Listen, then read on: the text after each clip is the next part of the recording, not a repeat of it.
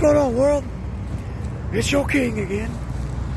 So I was thinking, and uh, you know, if you think about this, truly look at it, and you might find some agreement with me.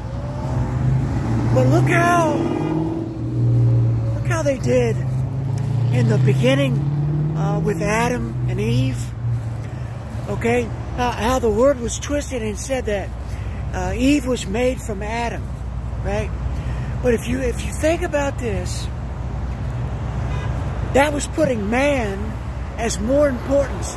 That God reached down and created man in the image of God, but not woman. You catch that?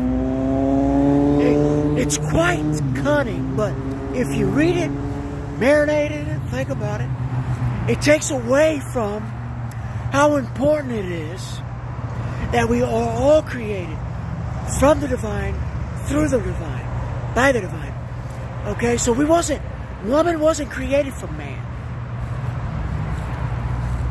We were all created from the divine.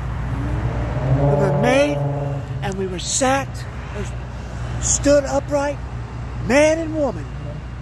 Then the divine made the womb fruitful, made the men's seed uh, fruitful, right?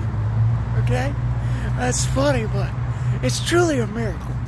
But this is really how it happened. But see, the enemy wanted to try to take away, uh, you know, that power.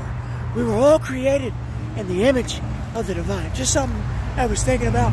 I hope it helps. I love you guys. Until next time.